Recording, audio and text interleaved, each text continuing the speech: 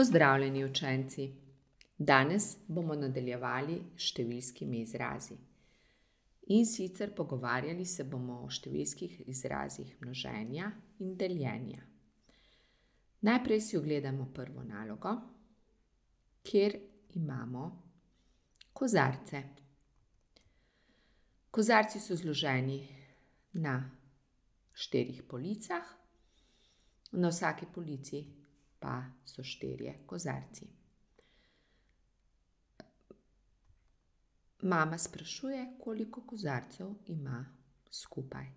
Pa rešimo to nalogo s pomočjo množenja.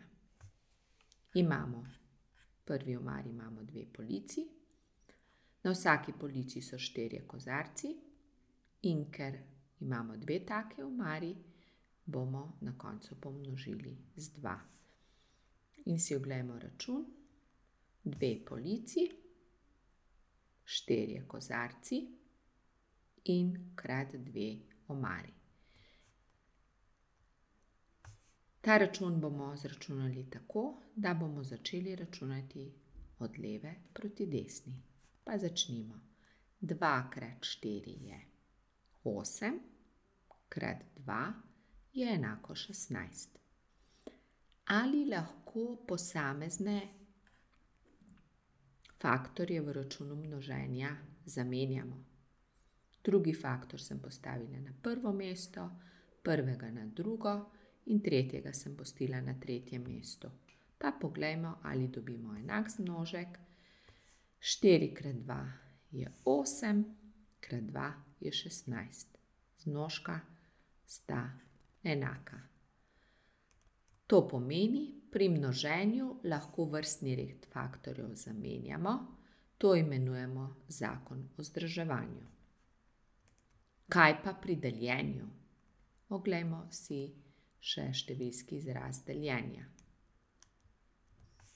Šestnajst deljeno s štiri deljeno s štiri je. Začnemo računati od leve proti desni. In poglejmo, šestnajst deljeno s štiri je štiri, deljeno s štiri je enako ena. Ali lahko tudi tu vrstni red računanja zamenjamo? Pa preverimo. Šestnajst deljeno s štiri deljeno s štiri je. Pri drugem računu sem se sedaj odločila, da bom najprej delila tale del računa. Šestnajst prepišem, štiri deljeno s štiri je ena in na koncu dobim šestnajst. Ugotovimo, da količnika nista enaka. In v tem primeru smo računali napačno, saj nismo začeli računati od leve proti desni. Pozor, pri deljenju, za razliko od množenja, moramo računati po vrsti, od leve proti desni. Kaj pa se zgodi, ko deljenju dodamo množenje? Poglejmo si še en tak primer. Sedemindvajset deljeno s tri krat dve.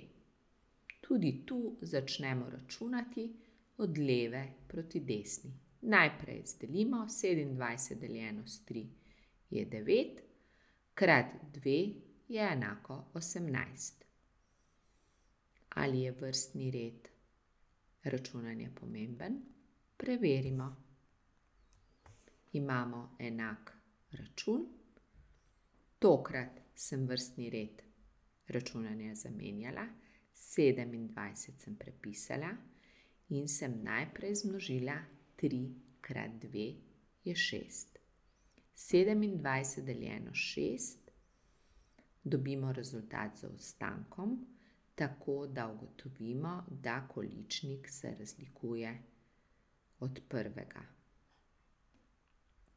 In ta račun ni pravilno izračunan. Kadar v računu ni oklepajev, račune množenja in deljenja rešujemo po vrsti, od leve proti desni. In to si moramo zapomniti. Ko dodamo seštevanje in odštevanje, imata množenje in deljenje prednost. Poglejmo si, kaj to pomeni.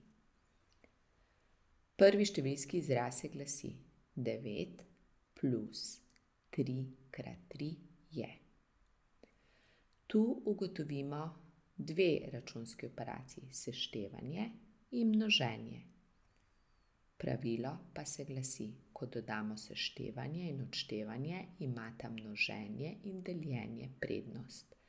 To pomeni, da v tem računu ne začnem računati od leve proti desni, ampak najprej izračunam račun množenja. To pomeni, da bom 9 pripisala, plus 3 krat 3 je 9, 9 plus 9 je enako 18. Drugi račun 34 minus 7 krat 4. Tudi v tem številskem izrazu nastopata dve računski operaciji. To je odštevanje in množenje. Množenje ima prednost pred odštevanjem, zato moramo najprej ponovno množiti in potem bomo odšteli. 34 prepišem, znak minus prepišem, 7 krat 4 zmnožim. 7 krat 4 je 28. 34 minus 28 je enako 6. Tretji številski izraz. 41 plus 10 deljeno 2 je. Poglejmo si, katere računske operacije najdemo pa v tem številskem izrazu. Najprej vidimo seštevanje, znak plus in potem deljenje. Deljenje, deljenje ima prednost pred seštevanjem. To pomeni, da bomo najprej delili in potem prišteli. 41 prepišem, znak plus prepišem, to pa delim. 10 deljeno z 2 je 5, je enako 41 plus 5 je 46. In za na koncu malo daljši številski izraz kjer nastopajo vse računske operacije. Zato moramo biti tu zelo natančni, da bomo poštevali pravilo, ki je zapisano skoraj. V tem številskem izrazu vidimo množenje, seštevanje, deljenje, odštevanje, seštevanje in množenje. Množenje in deljenje imata prednost pred seštevanjem in odštevanjem. Najboljše, da si tudi tu obkrožimo, kaj moramo najprej izračunati. Množenje,